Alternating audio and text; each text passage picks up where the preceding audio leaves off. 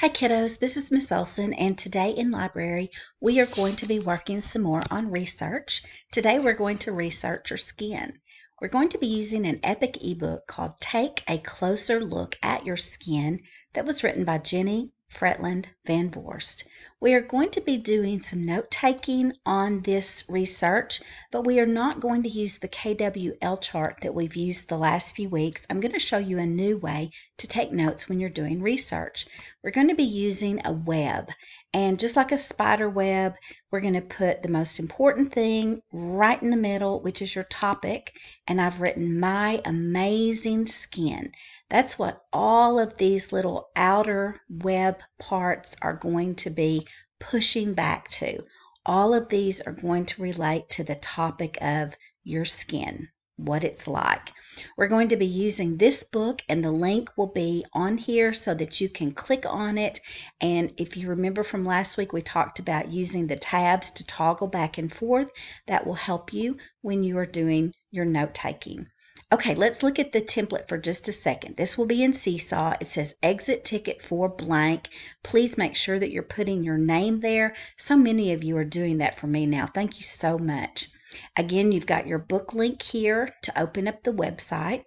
Fill in this note taking web and share your research. So, let me teach you a little bit about how the web is different from the KWL chart. The other um, type of note taking, we started with what you already know. And that is where you can kind of do your thinking right here. When you think about the topic of your research, think about what you already know about your skin. Just in your head, make a little list of the things that you know. Maybe your skin sunburns when you go out in the summertime and you stay too long. Maybe you sweat.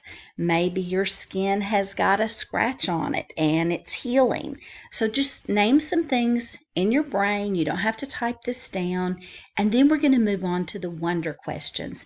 And in this web, we have three wonder questions and they match up with the three chapters of the book that we're going to focus on today. In chapter one, your wonder question is why do I need skin? Chapter one is going to give you lots of reasons, but you just need to give me two reasons that you need skin. Maybe two that really stick out in your mind as you're listening. You're going to make a text box over here and you're going to fit your text box and make it small enough that your writing will fit inside this oval. Okay? Don't leave it way, way too big where things overlap. That's really hard to grade. Remember, we're going to use capital letters, we're going to use punctuation, we're going to spell things in the very best way that we can. And you can also use those tabs at the top to tab back if you need to see a spelling and then come back and fill in your web oval. Um, why do I need skin? Not just one word. I need several words. Make me a sentence, make me a sentence, okay? All right, the second question in your web, number two, goes with chapter two. And the wonder question is I wonder what's inside my skin. The second chapter is going to really get into some of the scientific stuff. If you were a scientist or if you were a doctor and you are studying the skin, what would you be thinking about that's under the top layer that you and I can readily see? Again, we need a good sentence here and a good sentence here. And then finally, for chapter three, the wonder question is actually a statement. It says, Name two skin problems. All right, skin problem here, skin problem here. All right, then you're going to check that box and send it to me, and I will grade it and get it back to you as quickly as possible. All right, let's move on to the book. Miss Olson's going to be reading to you Remember that you can open it up here if you want to and have two tabs open to go back and forth to your notes if you choose. Also, remember, we're not just copying straight from the book. We're listening, putting things in our own words, and then typing our own words in the ovals. All right? No plagiarism around this library. Right, guys? Okay, here we go. Chapter 1 The Skin You're In. Have you ever heard of your birthday suit? This term refers to your skin. It is what you were wearing when you were born. It is funny, but it's true. Your skin is a suit of armor that protects what is inside. Skin is the largest organ in the body. An adult skin, when stretched out, is the size of a twin bed sheet. It would weigh as much as an eight pound house cat. Skin can be thin, like the skin on your eyelids, or it can be thick, like the soles of your feet. This inset box says touch is important for human growth. Studies show babies need to be held and cuddled, and scientists have also proven that all of us need hugs once in a while. The caption says human touch has a powerful effect throughout our lives. All right, remember we're listening to find out what jobs our skin does for us. Skin has many important jobs. Look at that good main sentence right there. Skin keeps your insides in your body. It also keeps objects on the outside from going into your body. Skin forms a wall.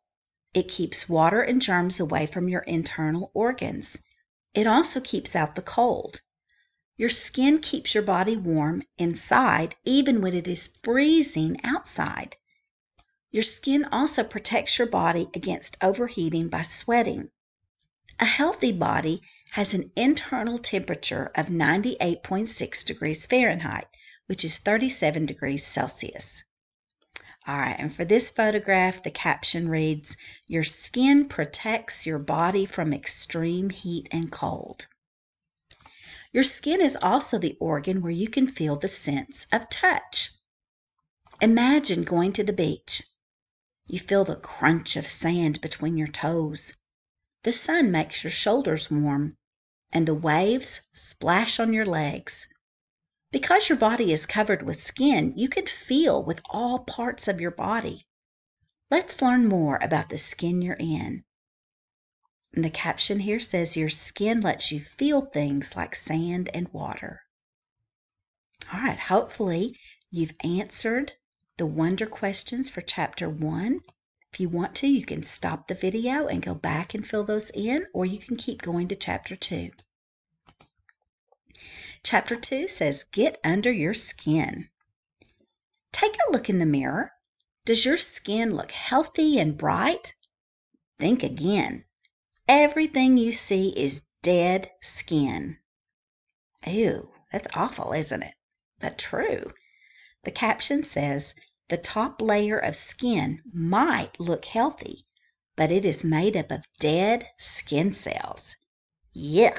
Let's find out what this is all about. The top layer of your skin is made of dead skin cells. This thin layer is called epidermis. Can you say that? Epidermis. Good job.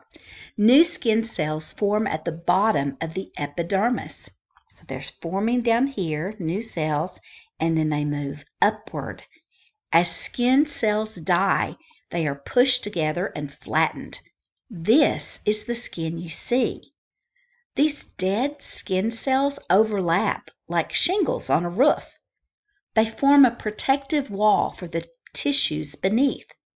You are always shedding these dead skin cells. In one minute, you may lose up to 40,000 skin cells. But think about it if the dead skin cells don't flake off, how are the new cells going to take their place? Right? It's just the way it works. A skin cell lives for about 35 days. The cell is created and sheds in this time. In one year, you will have shed more than 12 sets of skin. The epidermis is covered in an oily coating. The coating is like a raincoat. It keeps water from going into the body. But this raincoat is not completely waterproof. Your skin will absorb some water. Do you like to go swimming? Are your fingers and toes wrinkly afterward? Mm-hmm. That's what happens when your skin absorbs water. The epidermis, the epidermis is very thin, like the pages in a book. Underneath the epidermis is a thicker layer called the dermis. The dermis houses blood vessels and sweat glands and nerve endings. Let's see, there's the nerve endings. There you go. Blood vessels help keep your skin an even temperature. They increase or decrease blood flow to the surface of the skin. Sweat glands cool the skin by releasing sweat. The nerve endings give you your sense of touch. The nerve ends and the sensors work together. The sensors detect texture or pressure, movement, temperature, itchiness, and pain. A million sensors fit in an area the size of your fingernail. When you burn yourself, these sensors detect both heat and pain. They send a message through the nerves to the brain. The brain decodes the message and it sends your muscles a message to move away from the source of the pain. Nerve cells allow you to feel a painful burn, but they also allow you to feel a cat's soft fur. Here's another tip in an inset box. Fingertips have more nerve endings than anywhere else on the body. Hmm, the caption says, The nerves in your skin will tell your brain when something is hot. Wow. Okay. Chapter 2 told about Wonder Question 2. So you can stop the video and go back and fill in some answers there in your own words, or you can keep listening and do it all at once. It's up to you. If you decide to do it all at once and you need to refer back to the chapter later, that is perfectly okay. All right, we're going to move on to chapter 3 when good skin goes bad. Now, this matches up to question three, which was about skin problems. All right, your skin works hard to protect you, but sometimes skin hurts or gets cut. Pain is the first sign that something's wrong. Pain is a signal that cells have been damaged. Do not ignore this signal. You might hurt your skin more. Delaying care might also make a wound harder to heal. Cuts and scrapes are common injuries. You might get a cut from a sharp knife. knife. You might also scrape your knee on the sidewalk. Your amazing skin will heal itself over time. Skin cells multiply and rush to seal up the wound. Most cuts and scrapes do not go deeper than the epidermis. They can be cleaned and covered up with a bandage. If the cut is very deep or large, you may need stitches. A doctor will fix your skin like you might fix a torn shirt. The inset says scar tissue is made of stronger material than regular skin. Scarred skin is stronger than it was before it was injured. All right, and the caption for this young man says when you get a cut or scrape, you can protect it with a bandage. All right, so that talked about one problem. Here we go for another problem. Sunburn is also a common problem. Skin burns if it is in the sun too long. It becomes red and sore, and sometimes it peels. Once again, your amazing skin works to protect itself. Melanin is a substance, or melanin is a substance your skin makes to protect itself. This substance protects your skin from the sun's damaging rays. Melanin causes your skin to tan. Darker skin has more melanin than lighter skin. Sometimes the sun burns before enough melanin can be made and you get a sunburn. A sunburn does not just hurt, it can damage your skin and lead to more serious problems. All right, so we have another diagram of the skin. This is the epidermis layer. That's where you're going to see the sunburn. The melanin or melanin is underneath the skin layer in the dermis down here. Nope, I'm sorry, this is still epidermis. And then down here in the dermis, that is your deeper layer. All right, so second problem might be sunburn that you want to note. All right, here's another problem. Have you ever touched a plant like poison ivy? You probably ended up with red, blistering, and itchy skin. The plant's sap irritates the skin and causes a rash. Scented laundry detergent can cause some people's skin to itch. Certain drugs can have an effect on your skin too. Steer clear of things you know will irritate you. Your skin will thank you for it. And this caption says certain plants might cause a skin rash. All right, this is the fourth chapter, and we're going to learn just a couple of things that are helpful to know about taking care of your skin. Your skin does a good job of taking care of itself, but there are some things you can do to help make its work easier. Keep your skin clean.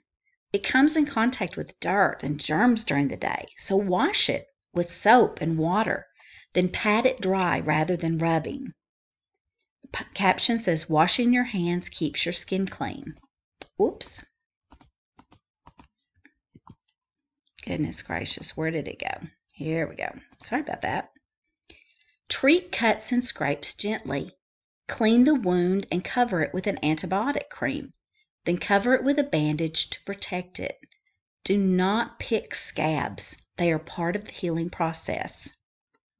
All right, the inset says people in many cultures decorate their skin as a way to express themselves. Makeup, tattoos, and piercings are some of the more common methods. You need to be careful with these things and make sure that experts are the ones that help you decide how they are applied so that you don't damage your skin.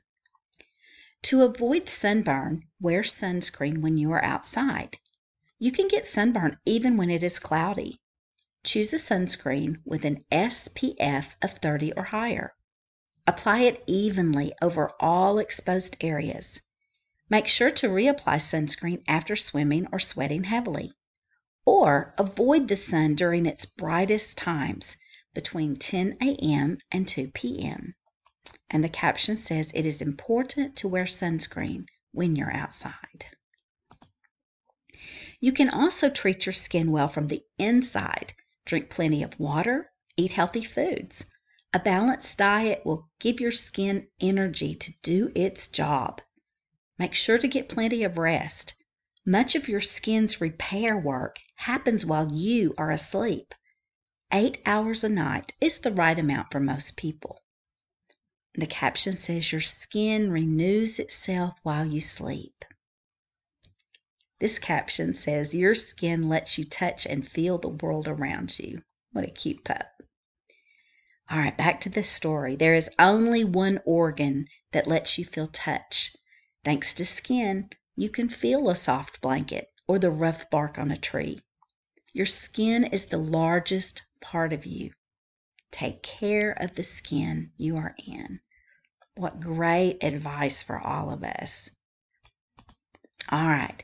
The end of the book ends with a glossary that explains things like antibiotic and dermis and epidermis and germs and glands and melanin. Melanin. Miss Olson was saying it incorrectly. Melanin. There we go. Organ and SPF.